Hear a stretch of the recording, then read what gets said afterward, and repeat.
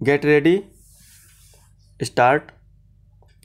You will be glad to hear that under the circumstances I was able to attend the lecture and though as a rule I do not care for such meetings. I enjoyed it very much indeed. Having regard to the subject, I think there ought to have been a much larger audience, but some who ought to have known about it pleaded ignorance in justification of their absence. With regard to the lecture itself, I have pleasure in giving you a summary of the chief points. In days gone by, according to the lecturer, it appears to have been the rule rather than the exception to walk as much as possible and only to ride when it was absolutely necessary, notwithstanding the fact that longer hours were worked then than now. At the present day, however, all over the world there is an ever-growing tendency on the one hand to ignore to a great extent the value of walking and on the other hand to travel on all occasions by vehicles of one kind or another.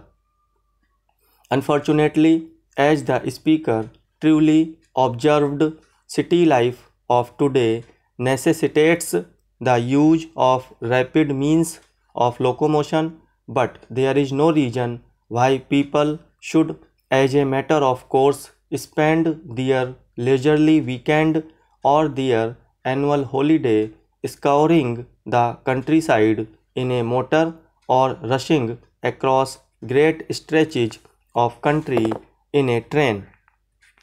Next para.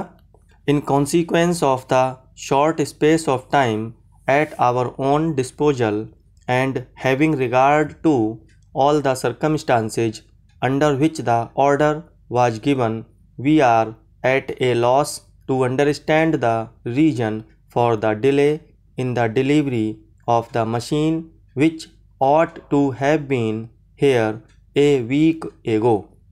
We shall expect to receive it in a few days without fail we are face to face with a difficulty which appears to have been in a great measure and to a great extent brought about by those who ought to have known better.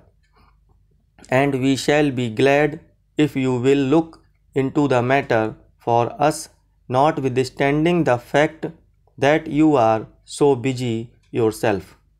The enclosed statement gives you our position in reference to the difficulty and we shall be glad to have your expression of opinion on the matter at an early date.